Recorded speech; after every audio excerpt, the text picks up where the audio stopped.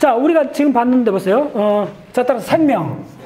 예, 생명. 생명은 야하고, 그 다음에 이쪽에 특히 산소하고 이렇게 하면 암석이 됐고, 생명이 됐고, 그 다음에 중량에 따라서 알미늄, 철, 요게 곁다리로 들어가는 정도예요. 예, 근데 사실은 여기서 보시면, 자, 이건 히토류, 다 히토류. 히토류는 따로 공부해야 돼. 이거는 또 우리가 공학적으로 굉장히 중요한 따로 나와요, 이거는. 그 다음에 지금 이거는 따라서, 이거는 방사선이요. 예, 원자로, 원자폭탄에 관한 거요. 어, 자, 그런 관점에서, 어, 지금 뭐냐면 방사선이라는 문제가 굉장히 중요해져요. 이 주기율표하고. 그게 어디 들어가느냐 하면 방사선 문제. 자, 이거 잘, 지금부터 잘 따라오세요.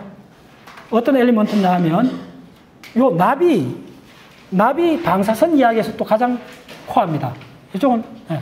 납하고, 비스무트하고, 피오하고, 자, 라돈, 이쪽 계열은 전부 다 방사선 이야기입니다. 요까지. 요거 이해다. 요거 납하고 추석, 요거는 지금 추석을 한번 보여줄게요. 요거, 요거 하나에서 뭐가 나오냐면, 뒤에, 뒤에.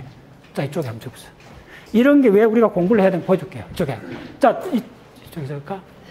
자, 여러분, 추석, SN, SN하고 CU를 결합한 걸 뭐라 그래요? 혹시 아는 사람? 자, 따라 청동기 시대. 이게 청동입니다.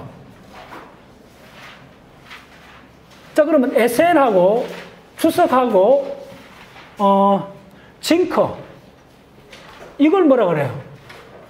이렇게 결합한 걸 뭐라 해요? 이 합금. 이걸 황동입니다. 황동. 자, 그러면 자, SN하고 추석하고 철판을 철판 위에다가 주석을 코팅한 걸 뭐라 그래요?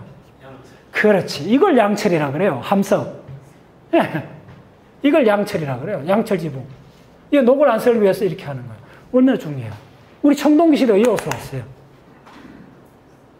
그 주석은 다 그렇게 저런 용도로 다 우리가 들어가면 다 이해가 돼요. 근데 이해가 안 되는 다른 큰 분락이 있다는 거예요.